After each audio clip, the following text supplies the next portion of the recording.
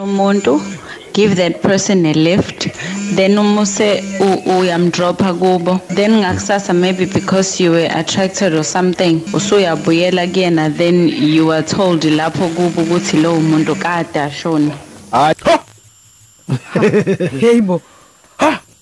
Hayibo. Asimthole. Wait, hang on. Producer, please, can you get a hold of this caller?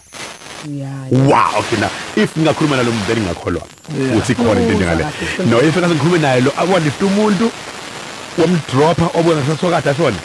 Then I would believe the story. ngeke ngiphinde ngilifta abantu mina Felix mfethu kwasho ubra wami sibuye dazone uBitronic shothi manje uyadrive akasho ukuthi nase ngimthinte kakhulu sengilele la emuva hayi uthi masithi thushu siyedlula lana la ngase ngepla ngasemlilo la ngaseClaywood Hospital. Uthi hayi wasibona isibuku sithi thushu. Lapho uthi uyadrive ngathi hayi hayi ngathi ayikho leyo nto. Hayi mangixoxele ekseni uthi hey ngiyakutshela into yakhona mona nasi isibuku ngiyasibona. Ngathi hayi angivumi. Ayikho leyo nto. Eh, hayi ngeke hayi ngeke Felix ngiyaphika. Mina ubhuti wami wahamba edaki ebusuku watshela ukuthi uya kantombi yakhe wathi uyangena uyangena uyangena.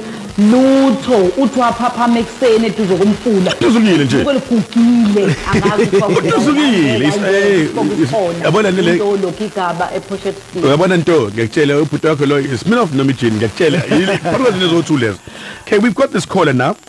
Uh she like to remain anonymous. Anonymous hi. Welcome to Gaga CFM Hi, thanks for having me. How are you guys? we're fine. Uh, a bit shocked uh, and also excited please tell us your story quick sticks you're the only person on the power you convince ukuthi khona isiphoki Yeah. kwenza kwenzakalani I, I'm not disputing ukuthi isipoki sikhona noma sikho. All I'm saying is that uma ebusuku uthatha umuntu then umbeke la uya khona. Then umshiye hoping that's all right. Then ngakusasa ufika uzombheka. Uma ufika kuthiwa kade ashona lowo muntu. How do you describe that? umuntu oyedwa Yes. Umxoshile endleleni because ubumdabukela sekumnyama and izulu liyanetha. But u- uze uyakukhombisa nokuthi uhlalaphi. The next day uzomcheck ukuthi ube right yini because it was raining or something. Now uma usufika kuthiwa lowo muntu kade samncwaba. kodwa phela nami uyakwazi ungilifta kunetha endleleni ngilokhu ngingafuna ukukhombisa eJohn yami ngithi mina ngihlala la Kuthiwa washona lowo muntu umndeni wakhe uma ufika khona kubo kuthiwa washona. is it say uma bekhombisa ithombe zakho uyena still This is a true story, yes. ha. It's the same person omliftile then you're like hayibo shuthi kanti ngilifteni. Hmm. Ish kwangashisi nje phakathi emotweni ngoba phela ziyashisana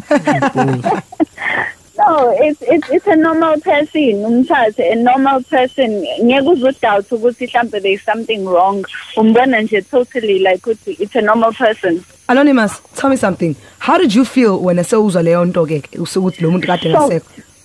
Short and will never ever give umuntu a lift at night. Thank you, Ema- sister. ema- emana nemas asikhomende njengabani ngoba vele asazi usubala sikhoma naye sayixoxela nje.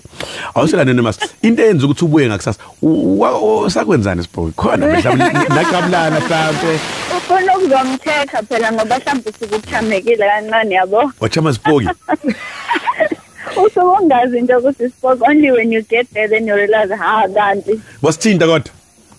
Yeah i'm still okay wasithinta ngesandla sakhe sibhoki No, phela there was no need to ukumthinta you just give a person a lift umshiye. Yo. Hayi, bamenzela umsebenzi. hey danke nemas akhe singakholwa ke uma ngiza angikholwa singabucamba mangiyakholwa abamenzela umsebenzi kubo ahlale kubo Thanks for calling.